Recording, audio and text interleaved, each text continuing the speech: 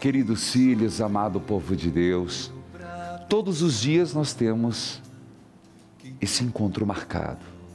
Encontro marcado na fé. E nós estamos em plena novena que tem muito a ver com a realidade que vivemos, pedindo pelas santas chagas, restaurai a vida financeira. Diga isso, Senhor. Quinto dia, quinto dia da novena. E eu digo: olha, se você receber uma graça, não guarde para você.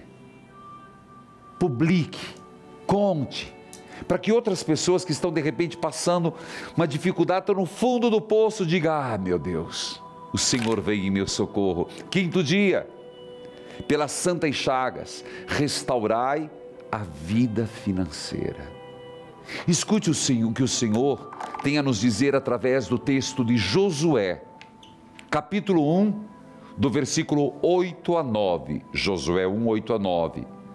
Não deixe de falar as palavras deste livro da lei e de meditar nelas de dia e de noite, para que você cumpra fielmente tudo o que nele está escrito. Só então os caminhos prosperarão e você será bem-sucedido. Não fui eu que ordenei a você? Seja forte e corajoso.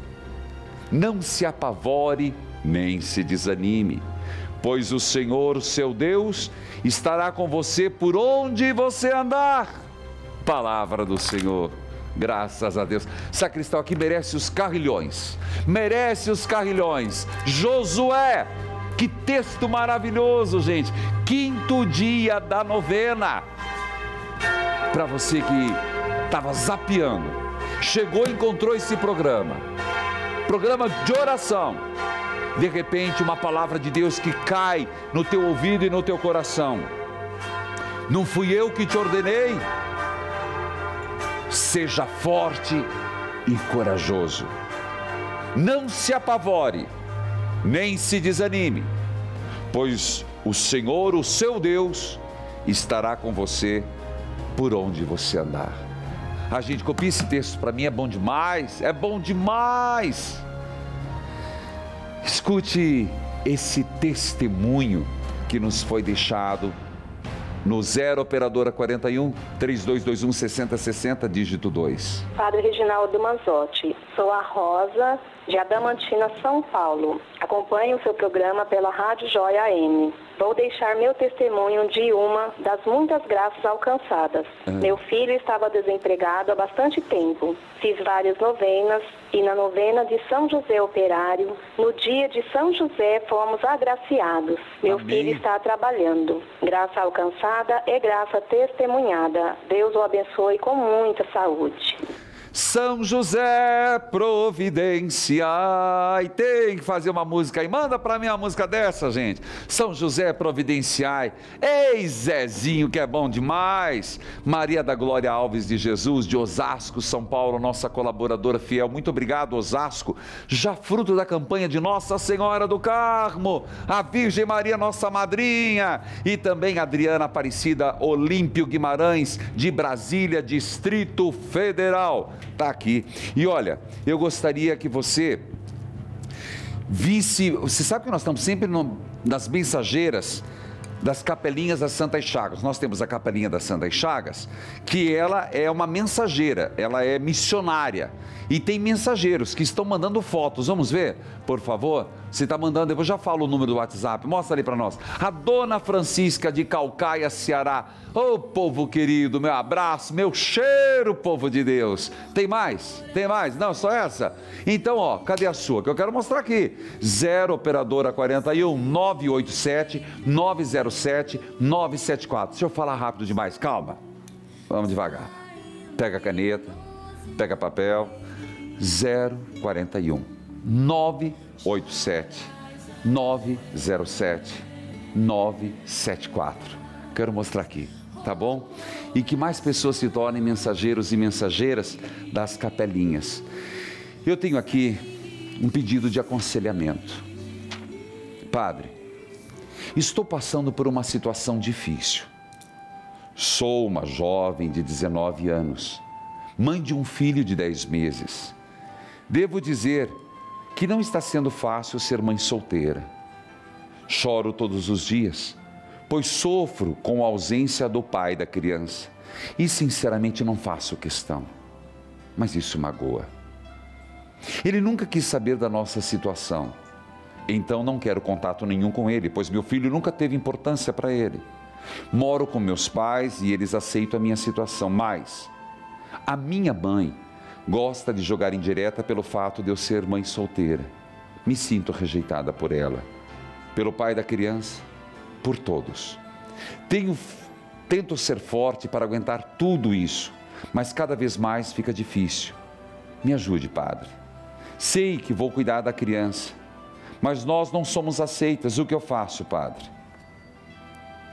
Juazeiro do Norte, filha, eu posso por hora rezar, amanhã eu vou orientar, mas tem algo que não condiz com a verdade. O seu sentimento de rejeição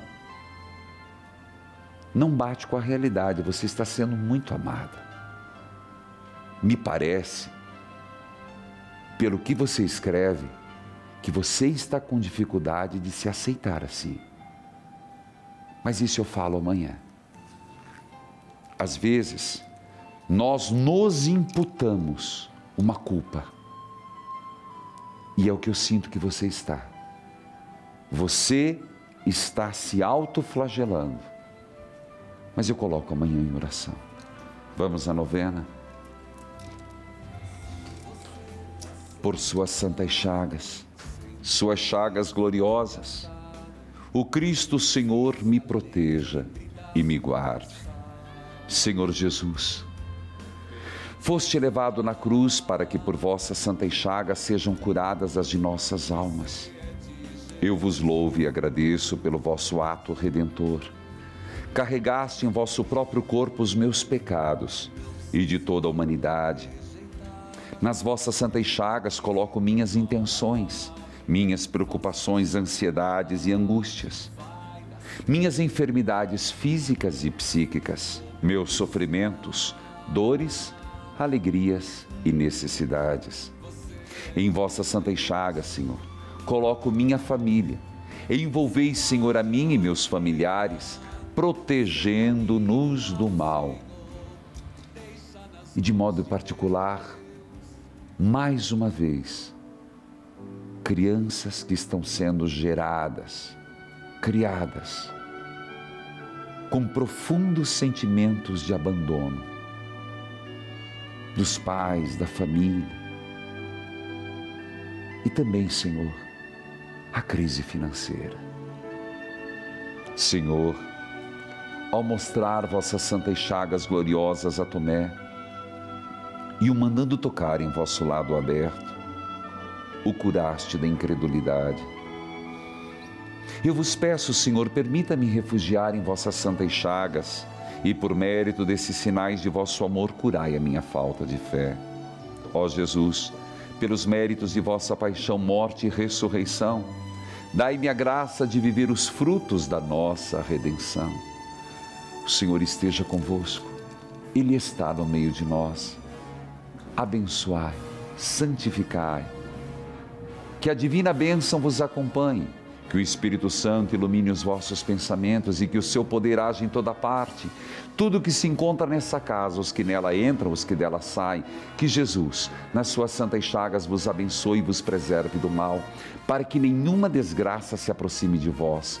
O Senhor vos abençoe e vos guarde, que Ele faça seu rosto brilhar sobre vós, que Ele se compadeça de vós e vos dê a paz. Em nome do Pai, do Filho e do Espírito Santo. Amém. Evangelizar é preciso